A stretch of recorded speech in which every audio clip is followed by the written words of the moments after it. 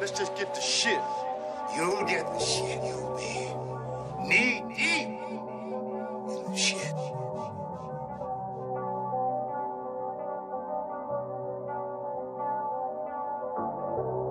I got y'all. You for real? Grandma's living room, 1995. My brother DJing, first time I heard Nas. I was the same size as the speaker singing I ruled the world, Lauryn Hill on the feature. That day, me and hip hop eloped. I heard about Adidas, Kangols, and gold ropes, but I was too young. All I knew was that it was dope. Had me souped up like Al Pacino on coke in front of my grandma's house. Late at night, they'd open up the doors and let the music play at night. I was like nine, they would let me come outside, but it was one rule: you couldn't be a bum outside. But to me, Hip hop was still but a mystery.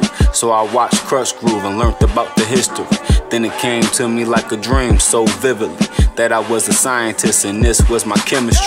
LL, Run DMC, Public Enemy, N.W.A, Snoop and Dre, that's what it meant to me.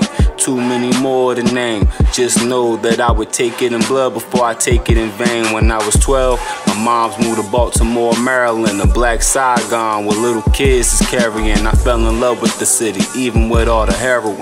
And it loved me back, hugged me back, took me in as one of its own, gave me a strap.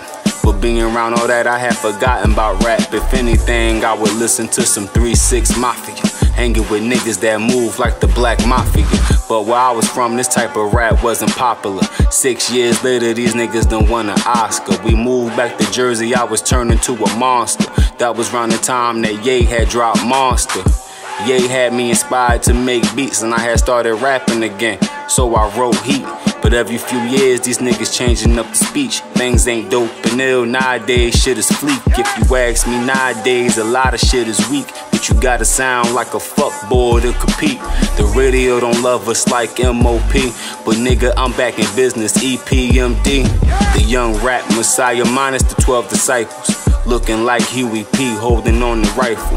About to light it up like Christmas, Kwanzaa, and Hanukkah. And do a joint album with Jay Electronica. Disrespect the God and I'm smacking off your yarmulke. And to think it all started standing by Yamaha. Uh, uh, uh.